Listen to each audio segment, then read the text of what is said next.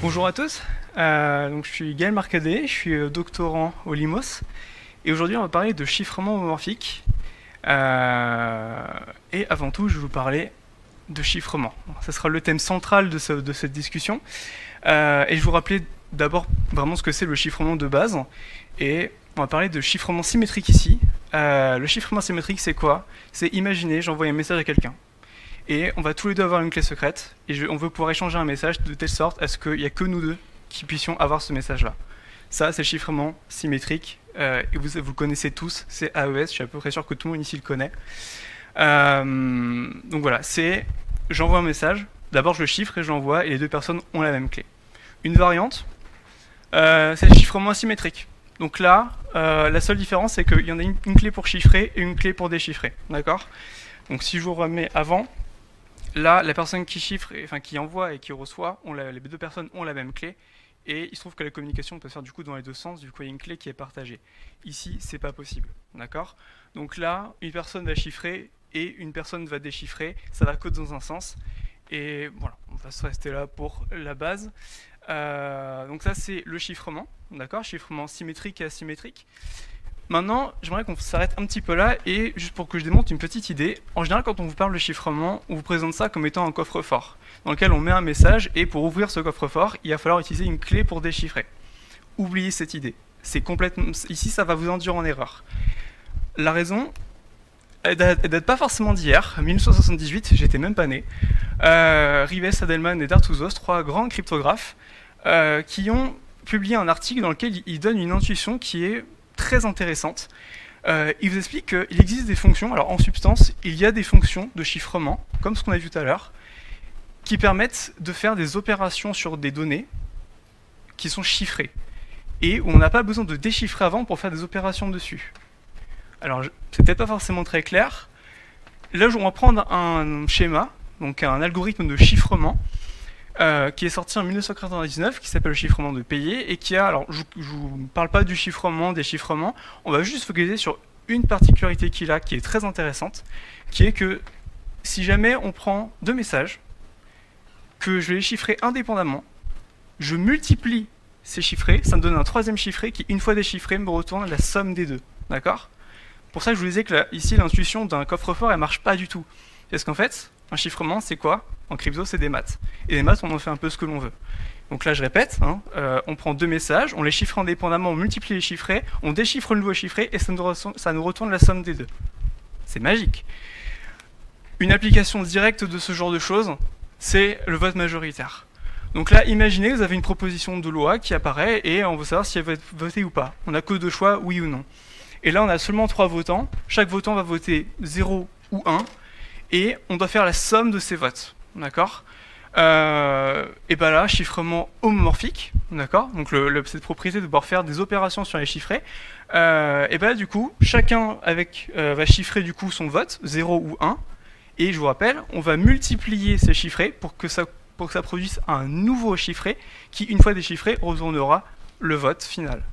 D'accord Donc ici, là, on voit qu'il y a deux personnes qui ont voté 0, une seule, il n'y a que Bob qui a voté pour que la loi soit votée. Et dans ces cas-là, la somme de ça va produire 1, et donc la, loi ne sera pas acceptée. A l'inverse, si Charlie décide de voter oui à la loi, on a un vote majoritaire de 2, la loi est acceptée, et personne n'a réussi à avoir le, euh, euh, le vote des trois votants. D'accord euh, alors des schémas comme ça, il en existe beaucoup dans la littérature, je vous encourage à aller les voir. Euh, l'idée, c'est quoi? C'est que voilà, on a vu payer, mais il y en a vraiment beaucoup. Et en fonction du schéma, on n'aura pas la même propriété. D'accord? Par exemple, si je prends le chiffrement euh, de Goldwasser, ici on va multiplier deux chiffrés, et ça, cette fois-ci, ça calcule un XOR. Donc en fait, vous voyez, en fonction du schéma qu'on a, on n'aura peut-être pas la même opération. D'accord? Euh, Alors, ici, il y a quand même un truc dont il faut que je vous parle, c'est que là, vous voyez qu'on a un schéma qui fait une opération dans l'espace chiffré, donc entre les chiffrés, est égal une opération en clair. Enfin, une fois qu'on déchiffre le chiffré euh, obtenu. Sauf que la question qu'on pourrait se poser, c'est que est-ce qu'il n'y aurait pas un schéma universel qui soit capable de faire toutes les fonctions? C'est-à-dire que là, au lieu que ce soit, imaginons que ce soit un schéma qui soit capable de faire à la fois la multiplication et l'addition. Comment est-ce qu'on peut faire? Et du coup, faites-moi confiance, supposons qu'il existe un schéma qui, lorsque je prends deux chiffrés, je fais une opération dessus, ça me produit un autre chiffré qui, une fois déchiffré, me retourne la somme des deux premiers éléments, et une autre opération qui, lorsque j'applique sur les deux chiffrés, me produit, une fois déchiffré, la, multiplication des deux entrées chiffrées. Donc c'est représenté en haut, imaginons que j'ai ce schéma-là, et bien en fait, on peut faire alors toute fonction. Tout ce que vous pouvez imaginer. Absolument tout. Voilà, quand je vous ai, si vous avez lu l'abstract de cette présentation, je vous ai parlé d'un navigateur privé, ça pourrait rentrer dedans. Tout ce que vous pouvez imaginer peut se faire avec du chiffrement homomorphique, avec ce genre de schéma-là.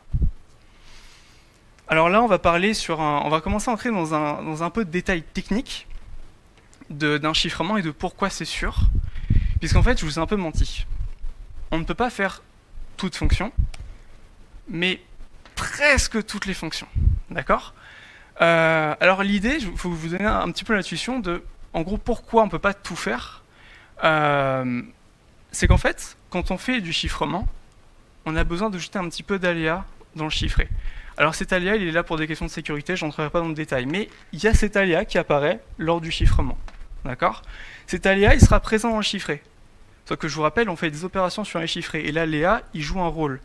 Et le problème, c'est que lorsque on prend, imaginons, euh, on fait l'addition de deux chiffrés.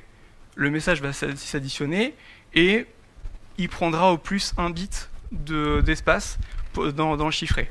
Alors, si vous ne voyez pas trop de quoi je parle, faites-moi confiance, considérez simplement que le, message, le message va prendre le plus de place. Euh, il fera plus de bits pour le représenter au maximum.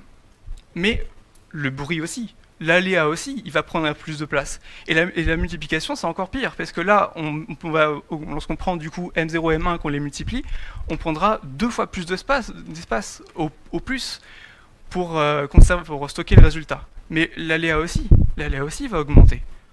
Donc en fait, l'aléa va augmenter globalement en suivant la fonction qu'on veut appliquer sur les chiffrés.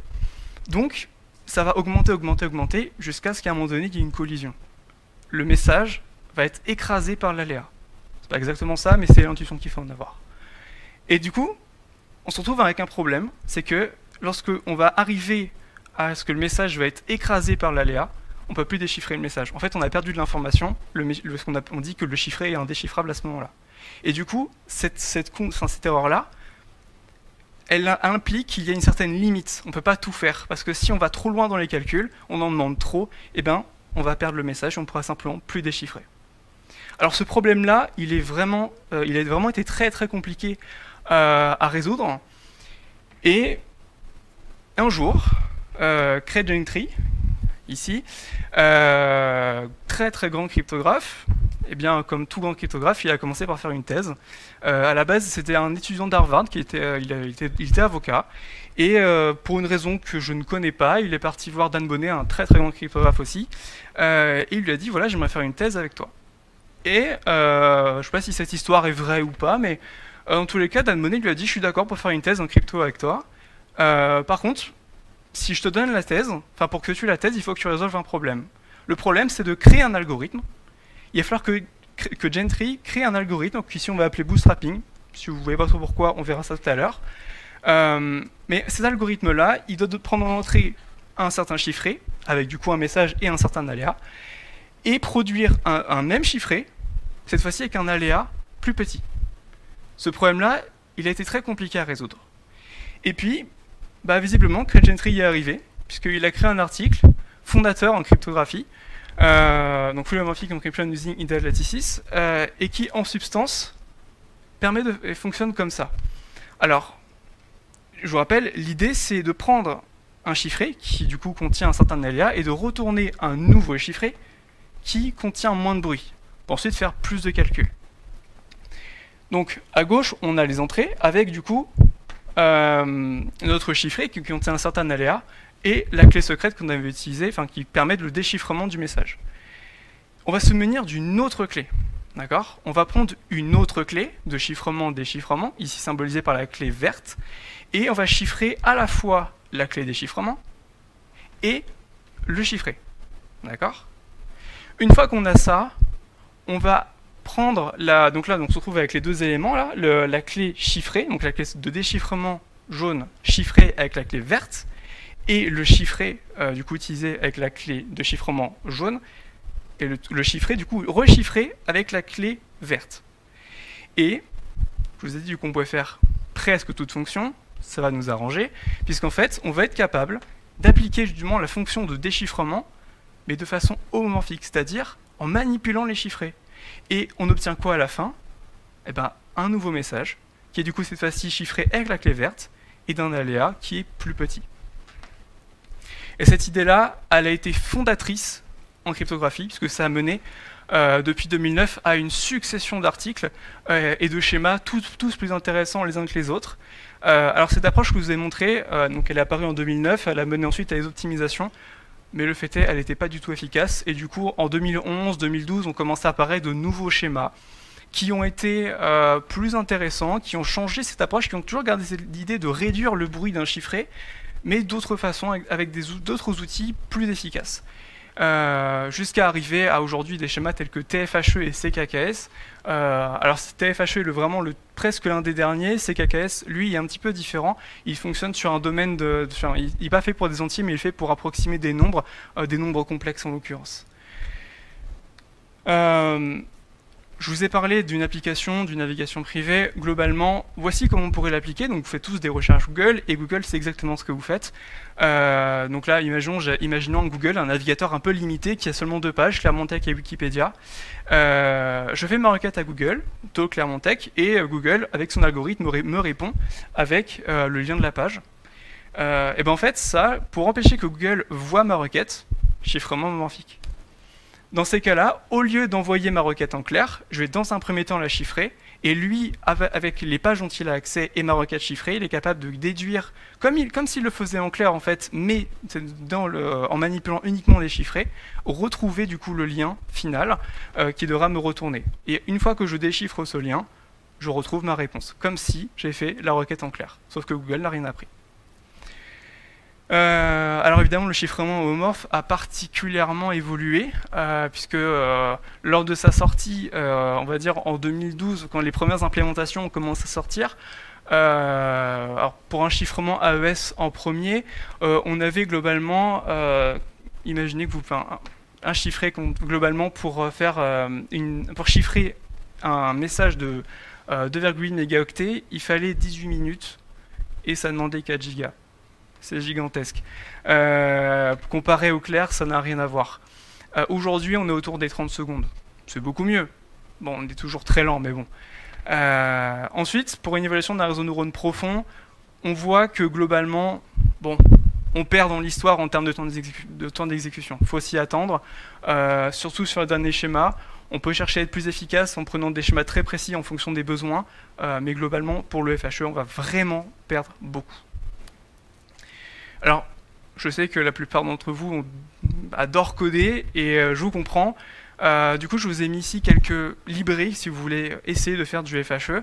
Euh, alors, il y a globalement trois grands schémas qui sont utilisés. Il y a BGV, BFV et CKKS. Et TFHE un peu, mais il est plutôt bien fait, cette librairie-là. donc, je vous encourage vraiment à essayer. Les deux que je recommanderais, ce serait OpenFHE et Concrete. donc, si vous aimez faire du Rust, pourquoi pas. Si vous aimez faire du C++, euh, vous avez le choix. Voilà.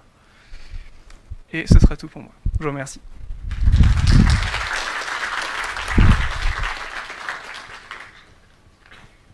Ok, on a le temps pour une ou deux questions. Est-ce qu'on a des questions?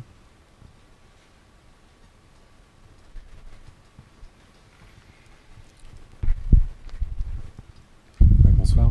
Euh, dans l'exemple du, vote, euh, où on avait tout à l'heure plusieurs votants, le déchiffrement, il est fait avec une clé publique ou une clé privée? Alors, il est fait avec une clé privée, ouais. Là, j'ai pas précisé dans, dans ce cas-là, ce qu'il faudrait désigner globalement une, autorité, euh, typiquement le gouvernement, qui a une clé secrète et qui euh, reçoive les votes, enfin le, chiffrement euh, des, des, votants, enfin le vote des votants individuellement, qui en fasse la somme et qui ensuite puisse le, le déchiffrer. Il faudrait trouver une manière de faire. alors, merci.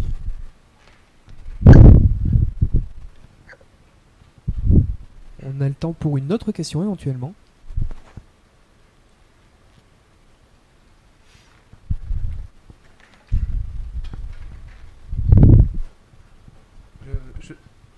Enfin, je suis pas sûr d'avoir compris. En fait, si le gouvernement peut déchiffrer la multiplication, il peut potentiellement aussi déchiffrer chacun des votes. Alors, oui, il faut trouver une manière qui soit. Là, j'ai pas précisé davantage, mais on peut créer des architectures avec un peu de confiance quand même. Euh, mais oui, euh, après, il y a des, des méthodes pour le faire. Euh, potentiellement d'autres outils cryptographiques qui pourraient là entrer en, en jeu. Euh, là, globalement, c'est juste pour donner l'intuition qu'en fait, euh, on, on peut avoir la somme de tous les votes sans, de, sans récupérer tous les, tous les votes individuellement. Oui, par exemple par un quartier, par une ville. Parce que imaginons, je sais pas, vous avez un, la personne qui va déchiffrer le résultat final, euh, aller euh, très très loin, et vous avez une personne qui va être euh, dans votre bureau de vote et qui va être capable d'écouter tout ce qui sort de la machine de vote. Bah, dans ces cas-là, elle n'aura pas la clé déchiffrement, mais elle verra votre vote. Et euh, bah, euh, si elle intercepte tous les votes de, chacun, euh, ça marchera pas. Euh, elle pourra pas les lire. Par contre, le gouvernement, lui, pourra quand même, euh, d'une façon qui, avec un protocole adapté, euh, va pouvoir faire la, la multiplication et donc la somme euh, dans l'espace euh, chiffré euh, de, tous les, de tous les votes et ensuite l'envoyer à quelqu'un pour le déchiffrer, par exemple. Merci.